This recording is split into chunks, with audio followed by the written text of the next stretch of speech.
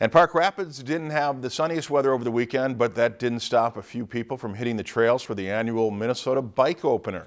The Bike Opener celebrates the opening of the bike season. It's traditionally held the Saturday after the state fishing opener. This was the fourth year in a row it was held at Heartland Park. Bicyclists were allowed to come and go as they pleased and had the opportunity to get a tune-up and trail safety information as well. Kids also got free helmets.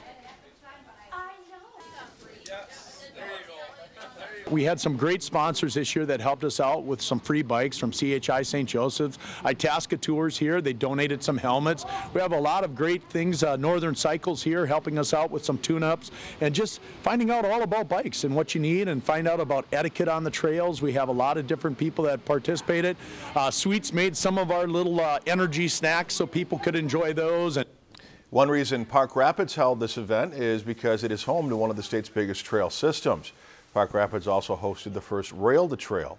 Officials with the Itasca Tour Outdoor Activities Group say bike culture in Park Rapids continues to grow, and each year the bike opener gets a little bigger.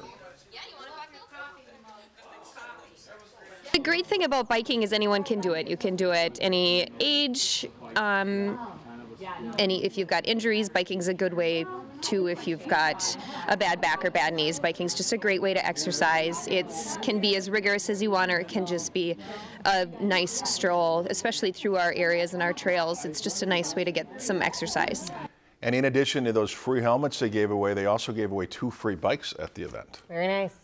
If you enjoyed this segment of Lakeland News, please consider making a tax-deductible contribution to Lakeland PBS.